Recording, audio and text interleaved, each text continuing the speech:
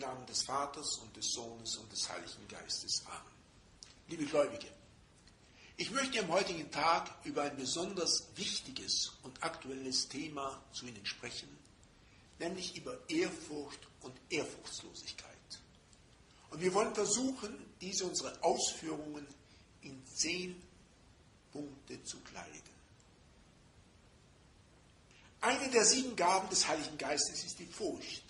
Das heißt die Ehrfurcht vor Gott und Göttlichen. Die Ehrfurcht vor dem Schöpfer und seiner Schöpfung. Wie sehr uns heute der Geist Gottes, der Heilige Geist, der Geist Jesu Christi fehlt, wird in der Ehrfurchtslosigkeit unserer Zeit in erschreckender Weise offenkundig. Erstens. Der moderne, aufgeklärte Mensch weiß nichts mehr von der Erhabenheit, Majestät und Heiligkeit Gottes, noch von der Absolutheit der Wahrheit, die ein Name Gottes ist. Für ihn ist Gott allenfalls ein Partner, mehr noch eine Funktion seiner eigenen Wohlstandsbedürfnisse. Gott ist für ihn reine Liebe und der Ausschluss seiner Gerechtigkeit.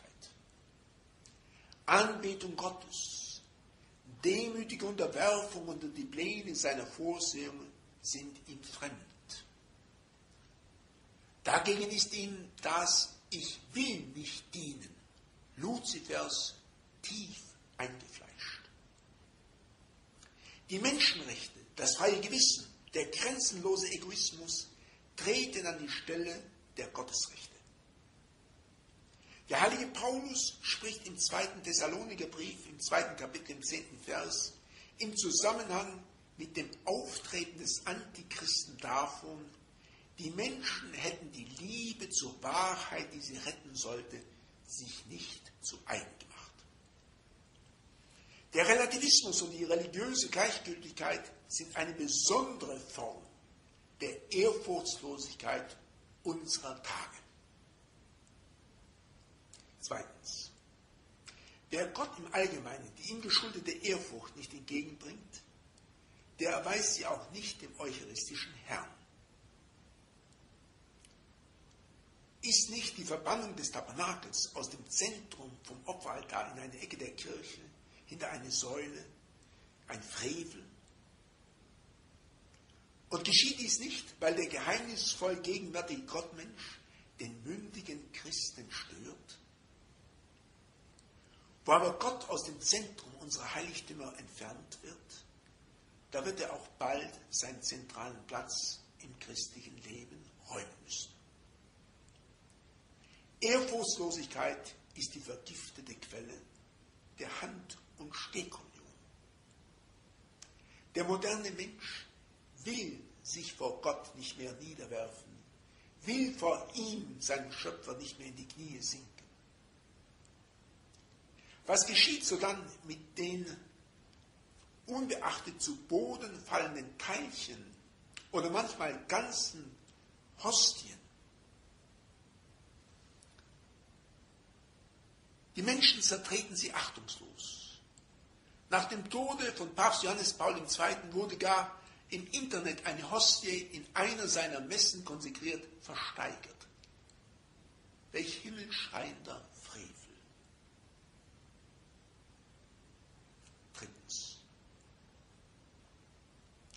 Ehrfurchtslosigkeit hat sich des Geistes und des Herzens vieler Theologen im Umgang mit der Heiligen Schrift bemächtigt.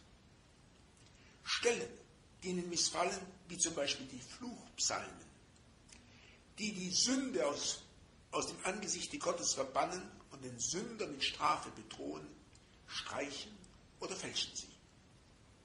Die Wunderberichte im Neuen Testament sind für sie fantasievolle Ausschmückungen eines vielleicht wahren Kerns.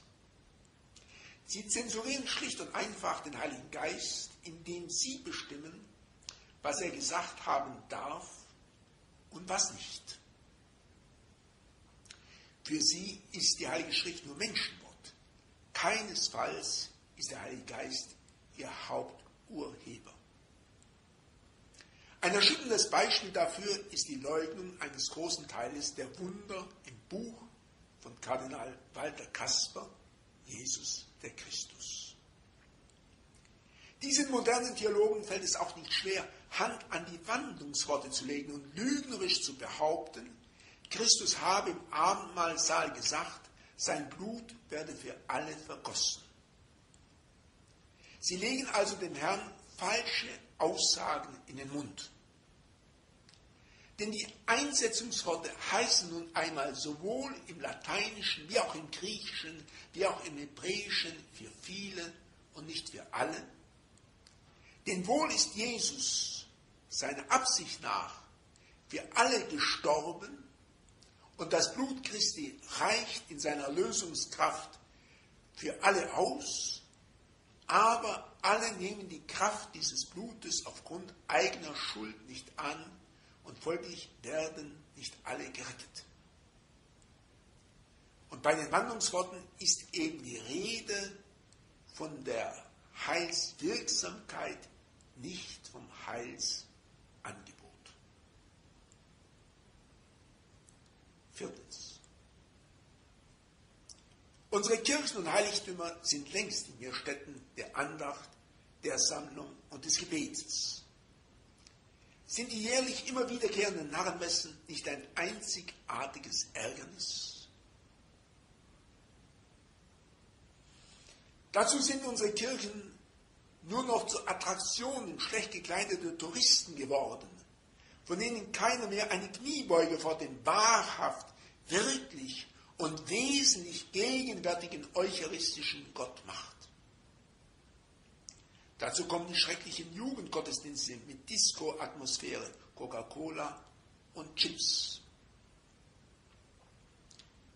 Jesus hat im Evangelium die Händler und Verkäufer im Tempel zu Jerusalem mit einer Geisel und mit den Worten vertrieben, mein Haus ist ein Haus des Gebetes, ihr aber habt es zu einer Räuberhöhle gemacht. Ehrfurchtslosigkeit der Eucharistie gegenüber, Ehrfurchtslosigkeit der Heiligen Schrift gegenüber, Ehrfurchtslosigkeit an heiliger Stätte, Ehrfurchtslosigkeit macht sich auch breit den heiligen Zeiten gegenüber.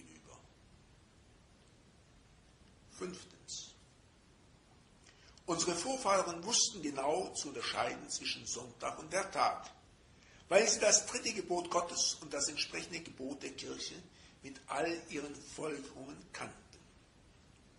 Sie ruhten am Tag des Herrn von der Arbeit der Woche, nahmen am öffentlichen Gottesdienst der Kirche teil, beteten und bildeten sich im Glauben weiter, verbrachten diesen besonderen Tag im Kreise der Familie und oblagen den Werken der Nächsten der säkularisierten Gesellschaft ist diese Unterscheidung vollkommen abhandengekommen. Und das beginnt bei der Kleidung. Der sonntägliche Anzug und das sonntägliche Kleid sind im besten Fall durch Freizeitkleidung und den Sportaufzug ersetzt. Normalerweise bei der Jugend oft durch T-Shirt, Blue Jeans und Tennisschuhe. Der Sportplatz ersetzt die Kirche. Die Bauern, früher ein gottesfürchtiges äh, Geschlecht, bestellen heute ihre Felder und bringen ihre Ernte am Werktag wie am Sonntag ein. Die Lastwagen rollen mehr und mehr sieben Tage von sieben Tagen in der Woche auf den Straßen. Die Änderung der Ladenschlusszeiten höhlen den Sonntag immer mehr aus. Wissen unsere heutigen Katholiken noch, was geschlossene Zeiten sind? So werden die Advents- und Fastenzeit bezeichnet. Die erste als Vorbereitung der Geburt, die zweite als Vorbereitung des Leidens und der Auferstehung des Herrn. Vorbereitung in Stille, Gebet und Buße, wo früher jede feierliche Hochzeit und jegliche weltliche Lustbarkeit ausgeschlossen war. Aber lang, lang ist her.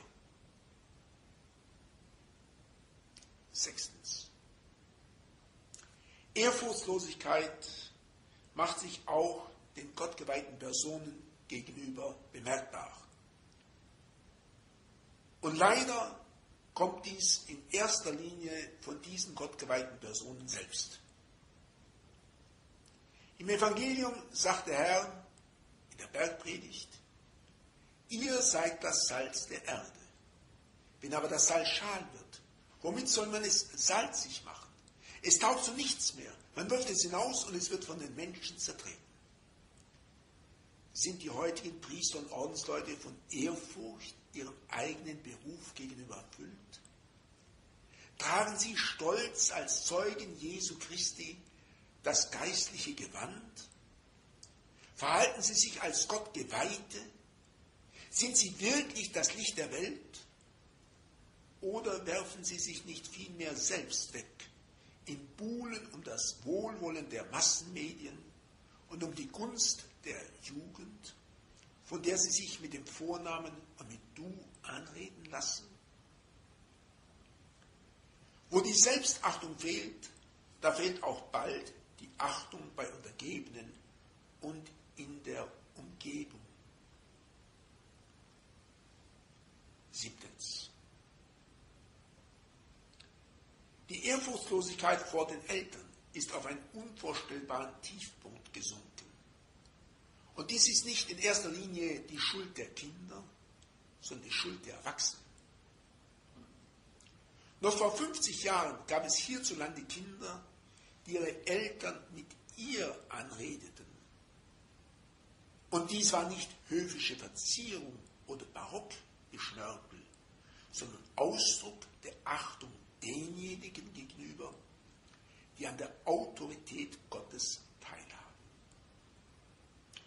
Heute reden Kinder ihre Eltern nicht nur mit dem Vornamen an, sondern leiten einen Prozess wegen einer Ohrfeige gegen diejenigen ein, die ihnen das Leben geschenkt haben und somit nach Gott ihre größten Wohltäter auf Erden sind. Gleichermaßen ist die Ehrfurcht vor dem Alter, dem grauen Haar und der christlichen Lebensweisheit verschwunden. Hat aber nicht der Schöpfer im ersten Gebot auf der zweiten Gesetzestafel die Ehrfurcht vor den Eltern geboten? Du sollst Vater und Mutter ehren, auf dass es dir wohler gehe und du lange lebest auf Erden. Achtens. Nicht besser bestellt ist es mit der Ehrfurcht vor der kirchlichen und weltlichen Autorität. Wir alle wissen, dass die Träger der einen und der anderen nicht immer die würdigsten Männer oder Frauen sind. Viele sind heute sogar ausgesprochen verdorben. Und doch müssen wir sie achten, nicht wegen ihrer Würdigkeit, sondern weil sie teilhaben an der Autorität Gottes. Omnis potestas ad Deo. Alle Gewalt, alle Autorität kommt von Gott, sagt der heilige Paulus im ersten Vers des 13. Kapitels des Römerbriefes. Und er fährt fort. Wer darum der Gewalt widersteht, widersteht Gott. Dazu zwei Beispiele, die uns die Achtung unwürdigen Autoritätsträgern gegenüber verstehen lassen. Das eine aus dem weltlichen, das andere aus dem geistlichen Bereich genommen. Erstes Beispiel also. Als Gott Saul, den ersten König in Israel, wegen seines Ungehorsams verwarf und im Verborgenen David an seiner Stelle erwählt hatte, da begann Saul eine schreckliche Verfolgungsjagd, um David zu töten. Bei dieser fiel Saul selbst zweimal in die Hände Davids, der ihn hätte leicht unschädlich machen können. Doch er verwehrte es sich mit den Worten, ich will mich nicht an meinem Herrn vergreifen, denn er ist der Gesalbte des Herrn. So berichtet im ersten Buch der Könige, Kapitel 24, Vers 11. Zweites Beispiel. Mit dem Tode Jesu ist das Alte Testament aufgehoben. Der neue und ewige Bund in seinem Blut ist gestiftet. Das Zerreißen des Vorhangs im Tempel zu Jerusalem lässt dies sinnfällig erkennen. Also ist das hohe Priestertum erloschen. Der hohe Priester als solcher hat keine wahre Autorität mehr inne. Paulus wird nun eines Tages vor den Hohen Rat geschleppt, um sich wegen seiner Tätigkeit als Apostel Jesu Christi zu verantworten. Da er sich zu verteidigen beginnt, lässt ihn der hohe Priester Ananias auf den Mund schlagen. Paulus ist darüber empört und nennt ihn eine übertünchte Wand. Doch die Umstände verweisen es ihm. Du schmähst den hohen Priester Gottes. Und Paulus entschuldigt sich. Brüder, ich wusste nicht, dass es der hohe Priester ist. Es steht allerdings geschrieben, den Vorsteher deines Volkes sollst du nicht schmähen. So berichtet im 23. Kapitel der Apostelgeschichte. Neuntens. Wer die Ehrfurcht Gott gegenüber mit Füßen tritt, bei dem kann sie auch dem Menschen gegenüber nicht hoch im Kurs stehen. Wer konsekrierte Hostien dem zertreten werden preisgibt, der wird auch bald den Menschen und das menschliche Leben als Wegwerfware ansehen. Was wir schon öfters sagten, wiederholen wir deshalb an dieser Stelle. Zwischen der unseligen Handkommunion auf der einen Seite und dem Verbrechen der Abtreibung und der Euthanasie auf der anderen Seite besteht ein enger geistiger Zusammenhang. Wer nämlich den Schöpfer nicht anbetet, der kann der Schöpfung nicht in Ehrfurcht begegnen. Wer Gott missachtet, verachtet bald auch den Menschen. Schließlich zehntens. Die Ehrfurcht vor der Schöpfung als dem Werk Gottes ist durch Materialismus und Funktionalismus fast ganz verschwunden. Die Erde wird nicht mehr bebaut, gepflegt, kultiviert, sondern ausgebeutet. Der Rubel, besser gesagt der Euro, muss rollen. Künstliche Befruchtung, Genmanipulation, Stammzellenforschung und Klonen sind sündhaftes und verbrecherisches Tun der Ordnung Gottes vollkommen entgegengesetzt, wo sich der Mensch an die Stelle Gottes setzt. Noch mehr die jetzigen Bemühungen von Wissenschaftlern aus Kreuzungen von Menschen und verschiedenen Tierarten Chimären zu züchten. Auch dem menschlichen Leib gebührt Ehrfurcht, insbesondere wenn er von einer getauften Seele bewohnt ist oder war. Selbst der im Sarg ruhende Leichnam wird in die Kirche getragen, mit Weihwasser besprengt und incensiert, um anschließend dem Weizenkorn gleich in die Erde gesenkt zu werden. Die um sich greifende Kremation ist ein brutales Zerstörungswerk und mit dem christlichen Menschenbild unvereinbar. Dazu steht sie im Zusammenhang mit der Leugnung der leiblichen Auferstehung. Nach dem Tode, sagen die Leute, ist alles aus. Die Ehrfurcht drückt sich auch in der Kleidung aus, welche den Leib bedecken und nicht entblößen soll.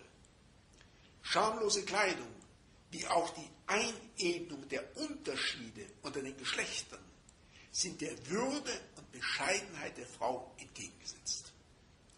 Sie stehen nicht im Einklang mit den Gesinnungen des Schmerzensmannes von Golgatha und seiner reinsten Mutter, sondern sind eher eine Anleihe bei Emanzentum und Feminismus. Auch die Anerkennung gleichgeschlechtlicher Lebensgemeinschaften durch das Gesetz ist, eine, ist ein Umstürzen der göttlichen Auch die Anerkennung gleichgeschlechtlicher Lebensgemeinschaften durch das Gesetz ist ein Umstürzen der göttlichen Ordnung. Kommen wir zu den Folgerungen. Die christliche Kultur, liebe Gläubige, ist wesentlich Ehrfurcht in Unter- und Überordnung. Befehlen um des Wohles der Untergebenen willen, gehorchen um Gottes Willen. So war es die ganzen christlichen Jahrhunderte hindurch. Sie waren Jahrhunderte der Ehrfurcht.